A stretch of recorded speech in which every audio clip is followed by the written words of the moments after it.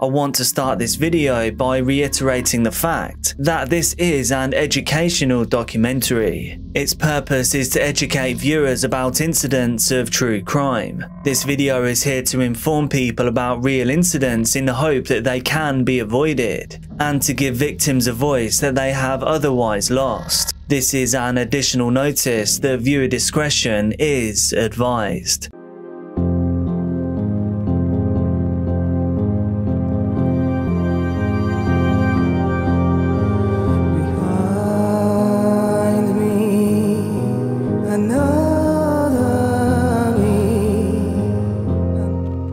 Viewer discretion is advised for this educational documentary. Welcome or welcome back to Dark Case Documentaries. I bring you true crime, disturbing stories, and other things that you may later regret knowing, with regular uploads every week. Please do join the quickly growing, incredibly supportive Dark Case family by hitting subscribe now and turning on notifications. Thank you so much to all of my patrons. If your name is on screen right now, then you're a legend. Our love and respect goes out to all those affected by this dark case. Kimberly Hill was born in Oklahoma on March 28, 1963. Her parents were Clyde Hill and Sharon Maples. She had an older sister named Marilyn and a younger brother named David. From 1982 to 1992, Kimberly served in the United States Marine Corps. In 1990, she gave birth to her first child, a daughter named Desiree. After Desiree was born, Kimberly decided not to re-enlist in the military. She instead began working as a hospice caregiver. On December 27, 1995, Kimberly gave birth to her son, Kevin. Kevin's father left Kimberly shortly after their son was born, and therefore he was raised solely by Kimberly. Kevin's former classmates described him as pretty average, saying that some people even found him to be a little bit strange, but they saw it as nothing more than him just being a little awkward. Kevin also got pretty average grades in school, and he never partook in any sports. By the age of 18, he had never had a girlfriend, nor had he kissed a girl. In 2014, Kevin and Kimberly were living in apartment 1707 at the Windrush apartment complex in Corpus Christi, Texas, while daughter and sister Desiree, who was about six years older than Kevin, now lived on her own, but not too far from the family. In March of 2014, Kevin considered ending his own time on this earth. He said that he had had these thoughts for years, but it wasn't until now that he had actually begun to seriously consider it. He claimed that he wasn't depressed, he just felt bored with the mundane life that he was living. Kevin, however, says that he learned to accept these feelings and he never reached out to anyone for help.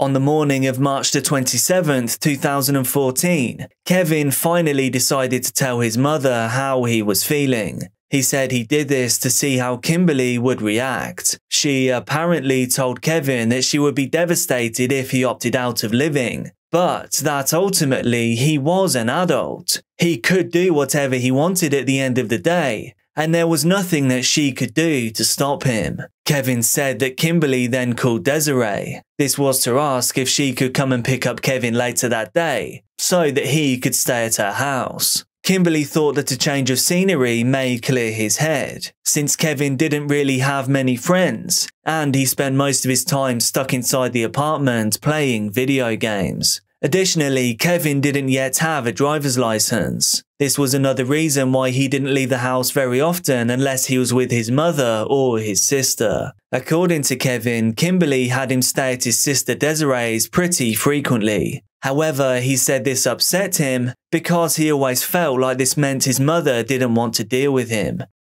Kevin did not like how his mother reacted to this situation at all. He claims that in that moment, he knew he had to do something about it. He said that it was now or never.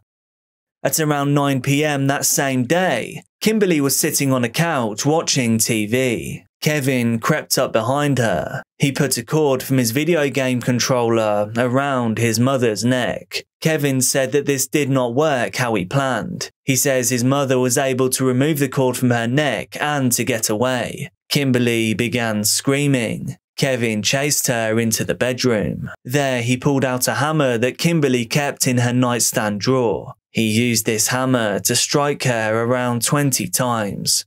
According to Kevin, his mother began to make noises. At this time, he thought she was playing dead, so he took this as a cue to continue his attack. He still wasn't convinced that his mother was no longer breathing, so he went to the kitchen to grab a sharp implement. Kevin put this implement into the top of his mother's cranium where an opening had already formed. He then began mixing her brains around in her head. He soon discarded the sharp implement and instead used his bare hands.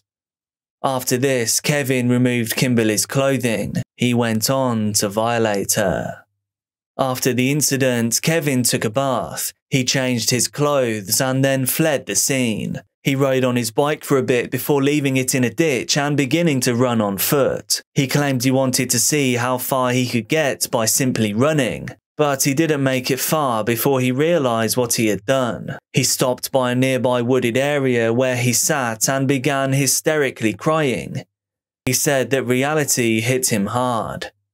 Kevin then went back for his bike and rode it to a nearby house. He knocked on their door and asked to borrow their phone. He said that he needed to call the police and let them know that he had just taken somebody's life. Instead, the homeowners called 911. They informed the operator of what Kevin had just told them. Police arrived shortly after. Kevin was arrested on the spot. When police got to Kimberly's apartment, they found her lying on the floor of her bedroom. There was a hammer found next to her body. Three different notes were found throughout the apartment that Kevin appeared to have written. One said, Chase me, sorry for the mess, KD. Another one, which was directed towards Desiree, said, Keep your head up. Hurry, she might still be alive, even though I highly doubt it. Kevin claims he left the notes for Desiree because he thought she would be the one to find the scene. However, this obviously did not end up happening. Kevin said that he left the notes because he was in a playful mood, but when he tried to flee, the guilt ended up getting the best of him. He said this is why he went to the nearest house to confess. In the early morning hours of March the 28th, police sat down to interview Kevin. When police asked Kevin why he did this, he said, I always love my mother, I guess in the wrong sort of way. This is an excerpt from that interview. Start at the beginning, man. What what caused all this? Well, the very beginning, I asked my mother for permission to die, or rather, kind of com- commit suicide, the sort of beating around the bush sort of thing. Mm-hmm. Because, well, well, that doesn't really matter why I wanted to kill myself. Sure it does. It does. I'm bored with life. I don't like life. I don't Mhm. like people. I don't like living it, basically. There's really nothing, anything depressing about it. It just is what it is. What what got you to this point? Tell us about what got you to this point. Did you hate life? You wanted to commit suicide? Oh, what did you say about when you told her you wanted in a roundabout way to commit suicide? She said no. She said yes. What did she say to you? She said, um, basically, I'm a grown man, and what I do, I can't really stop me. She was, and no, she was distraught over it, of course. I mean, she, Of course, of course. yeah, she said she'd cope with it. I mean, if you kill, and that's kind of why she wanted me to go away. Why she called my sister to come pick me up, and that's kind of why I just left. So at that point you got pissed. Not necessarily. I just knew it was time to act now, now or never. you ever tell anybody else what your plans were? Uh, that you know what you wanted to do, your mom or your sister? No, but over the years there were hints. As a younger boy, I was a a lot dumber, a lot more angsty. You know, I said things, but I guess they basically brushed it off. I guess the hints were everywhere, but eh, they're my family. Family looks past that kind of stuff, or they try to not look at it. Mm-hmm. I guess. I tried to strangle her with a cord, mm-hmm. a ripped cord from a video game console controller. That didn't work, huh? What was this? Uh, you thought was stronger. She was sitting on the couch watching TV. Okay. That didn't work out too well. She started screaming, and so I went to her room, Mhm. opened a drawer at the very bottom to the right. I pulled out a hammer. I went back in the living room, and well, you kind of get the gist from there. And uh, she was out pretty quickly. Kind of tried to play dead at first, but then I finished it. So you hit her with a hammer when she was sitting in in the sofa in the living room? No, first I tried to strangle her, and Uh-huh. that didn't work. Right. She grabbed the cord, so I raced back into her room, Mm-hmm. grabbed the hammer, came back out, and then did it. How many times? How many times did you hit her with a hammer in the living room? At least 20, but then she was still alive. I dragged her into the room, as you probably clearly saw, and then I picked, uh, kind of wormed my hands into her brains to kind of just, just cut it. She was still snoring. Okay. So she was still alive, She was still alive. and you went in there and you kind of grabbed those brains. Yeah, finished it. I actually had to drag her by her clothes to get her in there. It was very laborious, actually. Mm-hmm. She's a pretty big woman, she's heavy. Yeah. Uh, e- e- Explain to her how, how you grabbed her so that you wouldn't leave such a mess in, in the carpet. That Did you g- carry her from underneath the arms and just dragged her, or how did you drag her? It was very sloppy, actually. I kind of just winged it. I dragged her from her shirt. I dragged her by her legs. I dragged her by any way I kind of felt. I mean, Okay, okay. I don't really exert physical labor too, Mhm. so I'm not a very strong person. She's bigger than you are. Yeah. yeah. She's uh, bigger than you. Uh, you, you mentioned that you lost your virginity to a corpse. Yeah. Can you tell us a little bit about that? What happened? Oh, well, just last night, my mother. Yeah. Okay, you, not somebody else. You talked Yeah. about your mom. Yes. Okay, so before that you had never had sex.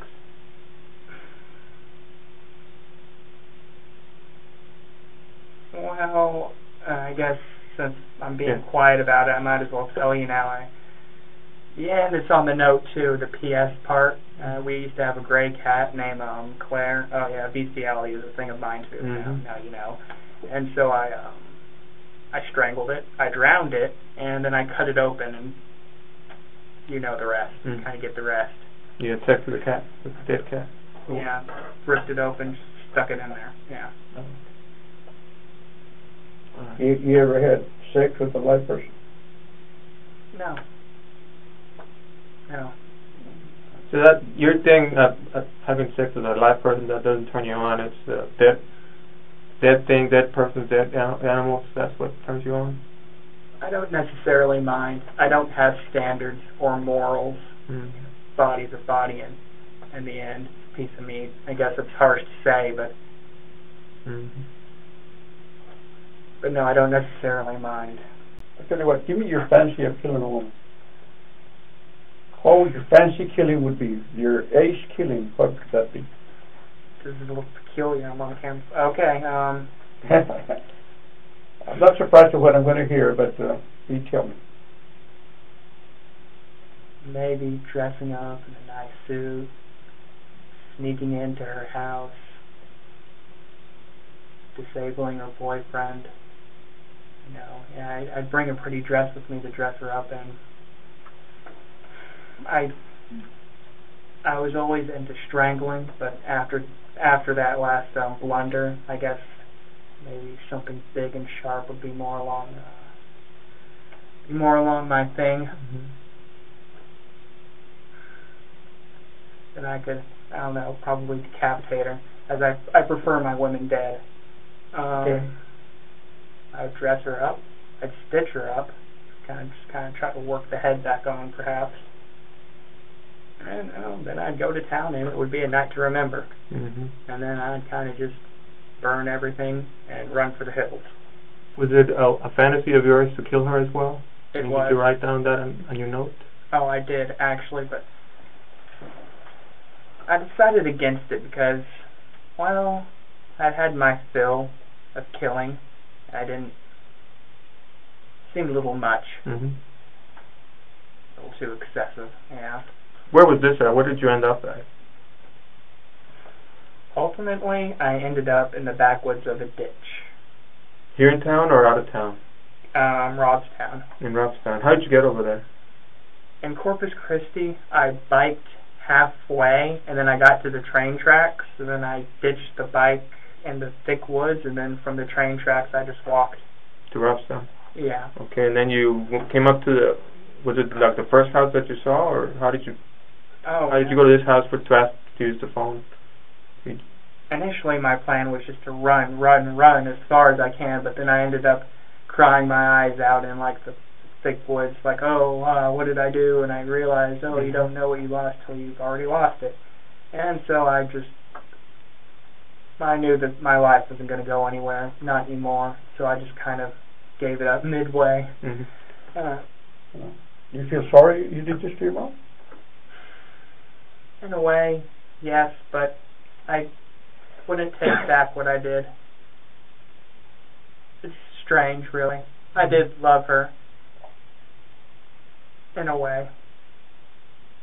Uh, Yeah. Has she been mean to me? Oh, no, no, she's been the best mother. Okay, so she, there's nothing that she did? Oh, absolutely nothing, no. She, If I was to ask you, what did she do to deserve this, what would you answer? absolutely nothing. I'm just, I'm a terrible, I'm a Terrible cruel, person. disgusting person. Yeah, basically. At this point, what do you consider yourself? You consider yourself, I'm gonna use a dirty word, okay, but I, I don't mean to, Oh. I don't mean to insult you, No. okay? Do you consider you mentally disturbed? Do you consider yourself crazy? Do you, what do you consider yourself, any of those? Or you think you're okay? You just got some bad thoughts? I'm not mentally distur- disturbed. I mean, I'm sane. I know exactly what I did. I know that it's wrong in the tradition, in the traditional Right. sense of wrong. Hello, It was just a fantasy you had, and you had to carry it out. Carry it out. Yeah. not yet. Now I feel vaguely, uh, Right. kind of like I'm done. Mm-hmm. You still feel like like well, you're done with your mom. You still feel like you want to keep on killing, to keep on you know with other fantasies, or, or how do you feel? I came here to pay for my crime, so I guess I should continue with the truth. Mm-hmm. Truthfully, Yes, definitely. I would kill again. Mm-hmm. But, but like I said, I, I admire you for your honesty. You were honest with us, and, and you didn't try to bullshit us. Okay, and, and, and you're like a man. You came out here and, and took it like a man. How do you do in schoolwork, man? Going back to school, how do you do in schoolwork? Pretty mediocre. I never really, I never really could muster, but to even really care. I mean, I guess I excelled in English for all that was worth. Okay.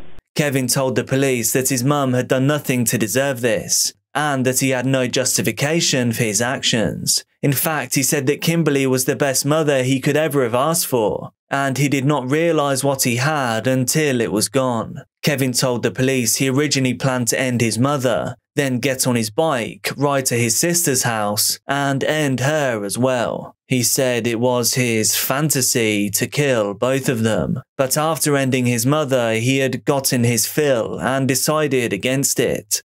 During his interview, Kevin told police that he had a fascination with murder. He said he had been planning this for a while. He claimed it was just a matter of when he would actually do it. He claimed that their conversation earlier that day was what set his plan in motion. Kevin admitted that he did not believe he was insane. He claimed that, while he was committing the crime, he did understand that what he was doing was wrong. However, he told authorities that, if he was released, he would 100% kill again. He even went so far as to tell them how he would execute his perfect murder. According to Kevin, his perfect murder would involve him wearing a tuxedo, and he would bring a dress for his female victim. He would go to the woman's house, break in through the back window, and then carry out the terrible act. He claimed he would use a sharp implement. He would then remove the head before sewing it back on. After this, he would intimately violate the body.